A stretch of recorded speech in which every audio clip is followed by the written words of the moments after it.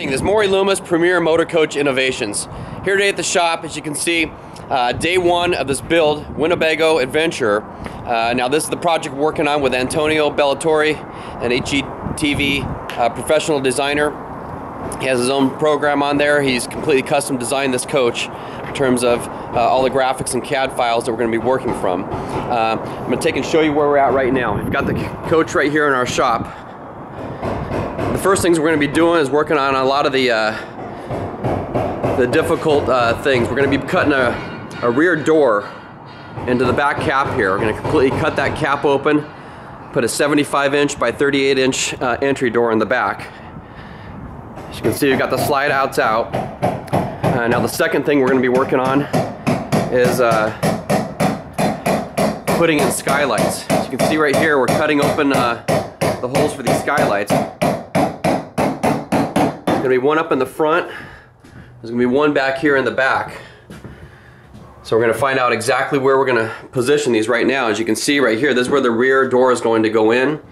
Uh, we're gonna go right to the very top of this frame on down to the floor. So you can see we have a lot of the uh, interior of this completely ripped out and stripped out.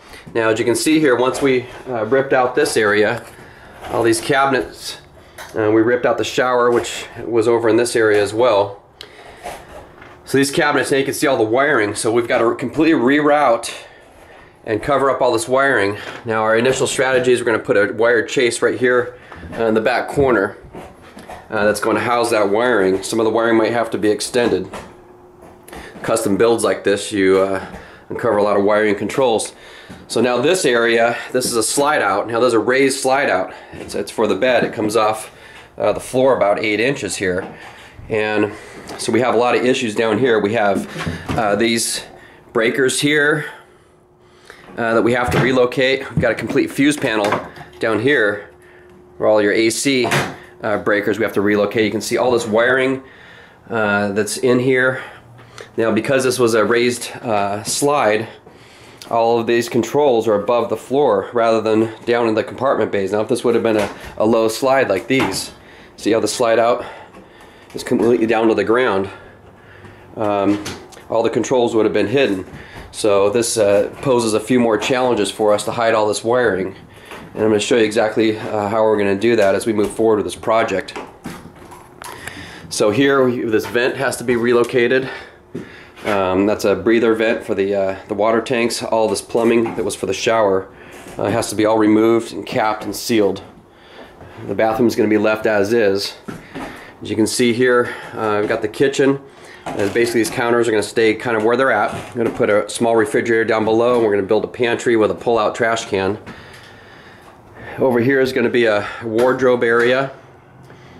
Uh, as well as here is going to be a, a, hanging rack wardrobe area. That's going to fold out into a, a, a fold down table to make a workspace area or you open it up with mirrors and wardrobe area. We're going to have some couches here and then an entertainment center. And over here we're going to have another uh, cabinet, storage cabinet, and another uh, a lounge. And we're looking at in the front here, putting in a 55 to 60 inch uh, LED TV set uh, for entertainment. So as you can see, we're opening up this hole right here. We're going to determine exactly with the placement uh, for this front skylight. So that's where we're at currently on this build. This is going to be about a uh, four month project uh, here at the shop.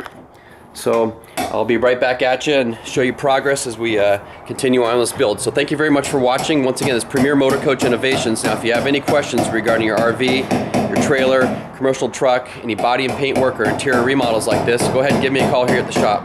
714 259 7555 And check out my website at premiermotorcoach.com. Thank you very much for watching and you have a great day.